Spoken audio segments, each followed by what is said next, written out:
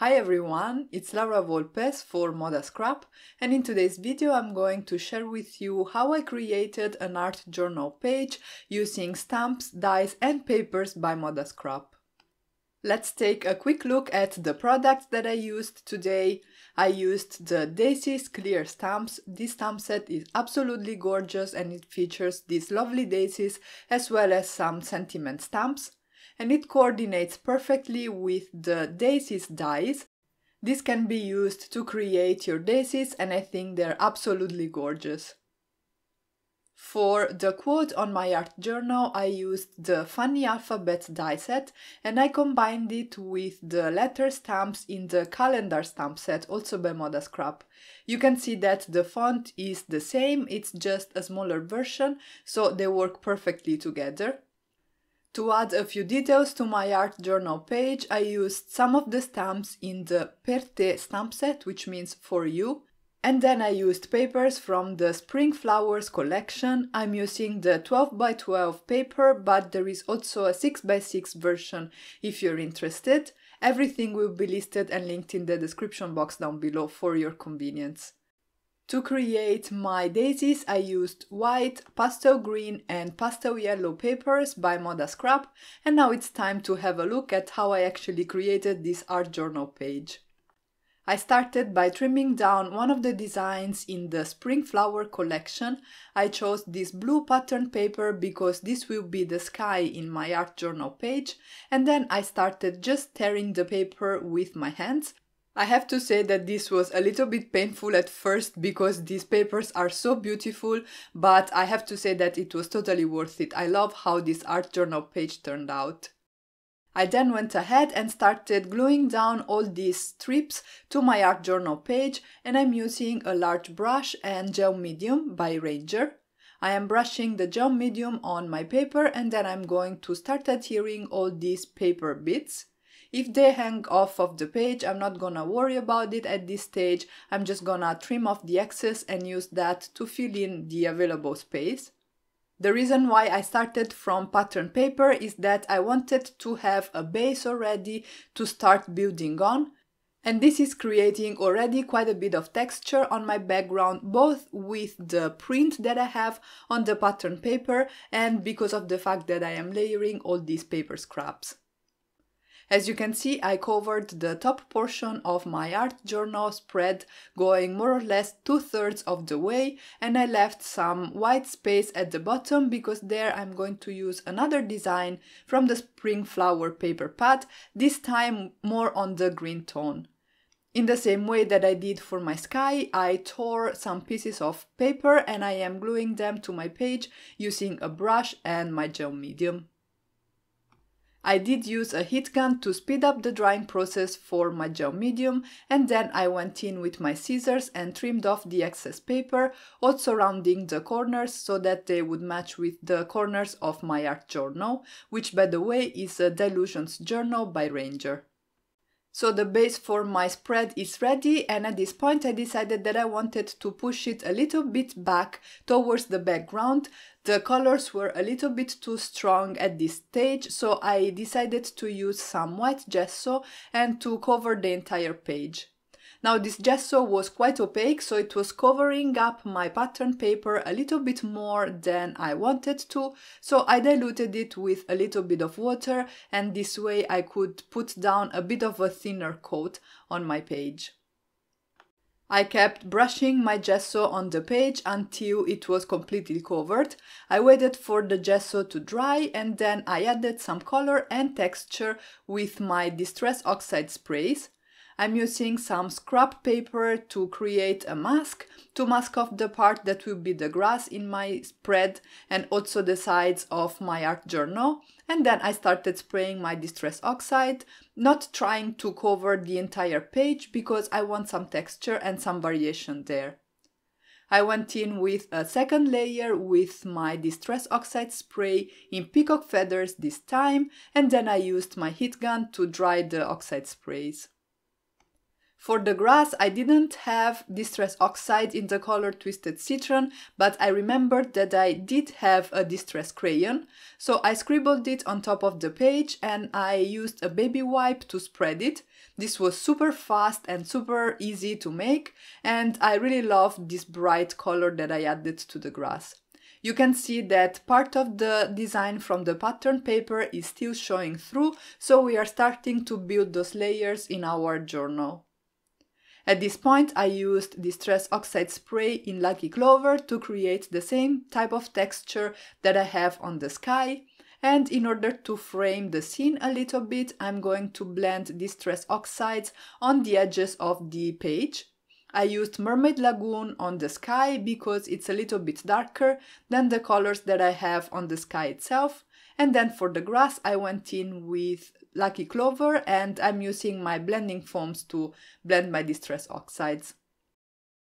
I dried everything with my heat gun and unfortunately this part did not get recorded but I added a little bit more texture to the background using the Triangles Stencil by Moda Scrap and Fluffy in the color Brilliant White and I also stamped some of the images in the Per te stamp set using Peacock Feathers Distress Oxide. You will see the result later on, but now it's time to move on and start working on the focal point of this art journal page.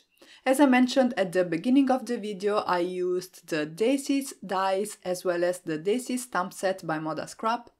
With the dies I cut some woodstock white paper, some pastel yellow paper as well as some pastel green paper and I am quickly adding some shading to these cut elements using my distress oxides and finger daubers. For the daisies I used tumbled glass, for the center part of the flowers I used mustard seed and I'm using Mowed Lawn on these branches that I will use to decorate my art journal page. I glued my daisies together and you can see you can layer them and they create these absolutely gorgeous flowers. They're so quick to make and I think they will make any project really stunning, whether it's an art journal page, a layout or even a card. Next, I decided to also add some stamped flowers, so I took the Daisy stamp set by Moda Scrap and I'm stamping the images using some hybrid black ink on some heavyweight white cardstock. I'm going to do some very quick coloring with my Illustrator markers. You can choose whatever coloring medium you like. Just keep in mind that if you decide to add water, for example, to your project and do some more techniques on your images, you might need to make them permanent before you do that. That is why I also used a hybrid ink rather than a normal dye ink for my stamping because that is alcohol safe but it's also waterproof so in case I decided to do more techniques on my art journal I knew that my ink wouldn't bleed. I didn't end up doing anything further to these images but it was nice for me to know that if I wanted to I had the option. For the coloring, I am using Illustrator markers. As I mentioned, these are alcohol-based markers, and I'm doing some very quick and very easy blending on the flowers. I actually stamped and colored each of these images twice because I wanted to have a lot of flowers for my art journal page. And then once the coloring was done, I fussy cut everything with my precision scissors. The stamp set does not come with matching dies, so that's why I'm fussy cutting all my daisies, and this didn't take too long. I just sat there and I took my time, and as you can see, in order to get a precise cut, I am holding my scissors straight in my right hand, which is my dominant hand, and I am moving the paper while I cut, and this way it helps me achieve a nice and precise cut without too many ragged edges. I'm also leaving a little bit of extra white cardstock at the base of the stems because that allows me to make those flowers a little bit longer if I need to. And then at this point I could start adhering everything to my art journal page. And here I just wanted to draw your attention to the sky background where I have those stenciled triangles and those zigzag lines that I stamped with Peacock Feathers Distress Oxide. I am using Nuvo Deluxe adhesive to glue down my images and as you can see I am alternating between my die cut and my stamped flowers. I am trying to create a border at the bottom of the page that will help me frame the sentiment that I'm going to adhere later on. And I am also adhering my die cut flowers behind the stamped ones as this helps me create some depth in my scene and I am also trying to reproduce something that artists do that is rendering the images in the foreground more than they do for the ones in the background. And as I said, I'm trying to reproduce this effect because this creates more depth in the scene. Next, it was time to move on and work on the sentiment, and I decided to use a quote by Lady Bird Johnson, which reads, Where flowers bloom, so does hope.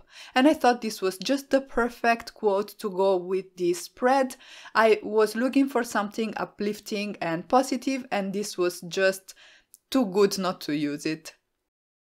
I stamped part of the sentiment on a strip of pattern paper, also from the Spring Flowers 12 by 12 collection. The stamp set that I used is the calendar stamp set by Moda Scrap, and then I completed the rest of the quote with some letters that I die cut out of some black cardstock using the Funny Alphabet die set.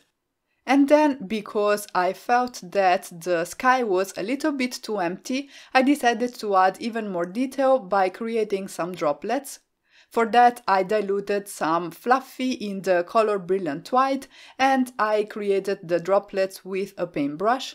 Because fluffy have glitter in them, this will add also a little bit of shine to my spread and I think that this was the perfect touch to finish off my art journal page.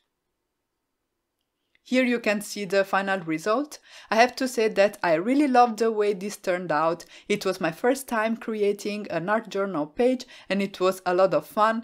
Those daisies are absolutely gorgeous and that quote is just perfect. And that's it for today. I really hope you enjoyed this video and I hope I inspired you to create with the Moda Scrap daisies, stamps and dies.